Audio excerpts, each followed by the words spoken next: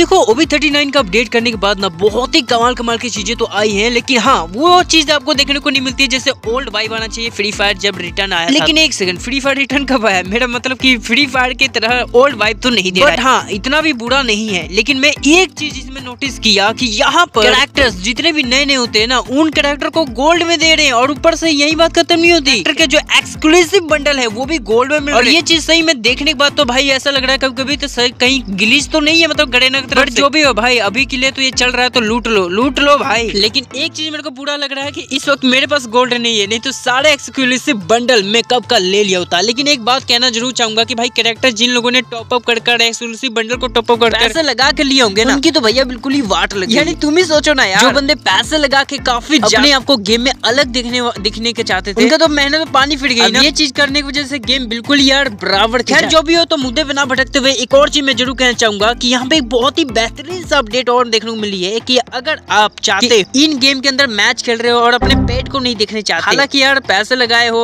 पहले जो जिन्होंने लिया है और अच्छा लुक चाहते हैं। वो लोग हाइड तो नहीं करना चाहेंगे इन मैच को खेलते हुए बट एक ऑप्शन ये दे रखा है तो भाई क्लिक करोगे तो भाई इन मैच के अंदर तुम्हारे साथ पैट नज़र नहीं है उसकी एबिलिटी आपके एचपी के ठीक ऊपर साइड में शो होता हुआ नज़र एंड इतना ही नहीं यार एक और चीज़ मैंने देखा की यार जो पैट है उसको दूसरा स्किल हम उसमें लगा ही नहीं सकते यानी ऑप्शन ही नहीं दे रहा। जबकि ओवी थर्टी में देखने को मिल रहा एंड यहाँ पर आप देख सकते हैं न्यू पैरासूट स्किन जो कि एकदम वाटरमेलन की थीम पे बनाया गया है। और हाँ ये पैरासूट स्किन काफ़ी ज़्यादा यूनिक कॉन्सेप्ट है। तो भाई कह सकते हो यार इससे पहले कोई और टाइप का तो नहीं है। एंड यहाँ पर आप देख सकते हैं न्यू जीनी मोड जो की आपका कुछ कैरेक्टर इस टाइप से निकलता हुआ आएगा जीन के चिराग में से। एक चीज़ नोटिस कर रहे हो मतलब यहाँ पर तुम्हें घसने की ज़रूरत नहीं है। यार मैं भी क्या बात कर रहा हूँ। यार ओबी थर्टी नाइन का सबसे महान शक्तिशाली अस्त्र के बारे में बात कर लेते हैं और वो अस्त्र है मिली वेपन में जो की भाई अगर तुम सोच ना तो ग्रेना ने इसको बहुत ही एडवांस बना दिया। अब देखो मुझे नहीं पता कि ये सच में ग्लीच है या फिर क्या है लेकिन आँखों में विश्वास नहीं हो रहा था जब ये देख रहा भाई गुलवाल को दो से तीन में डैमेज देता ही भाई वो गुलवाल समाप्त यानी फुट जाता है। ऐसा लगता है की यार यहाँ पर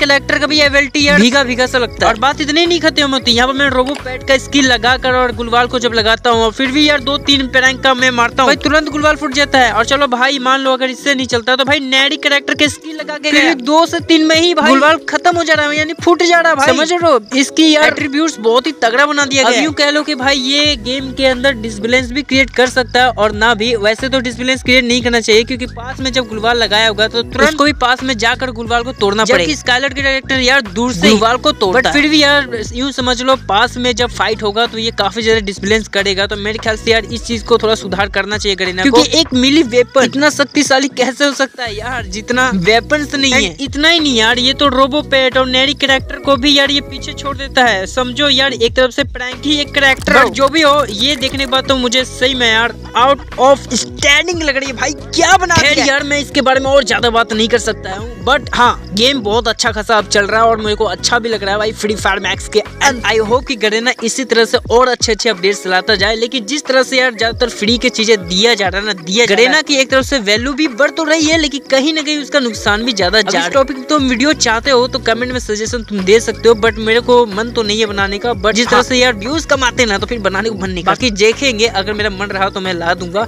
एक दो लोगों को कहने से नहीं, कम से कम यार दस पंद्रह बंदे अगर कह देंगे ना भाई तो मैं ला दूँगा। वैसे अगर नहीं भी खाऊ तो ला भी क्योंकि मैं ऐसा बंदा हूँ ना कि कभी कभी दिल का दिमाग का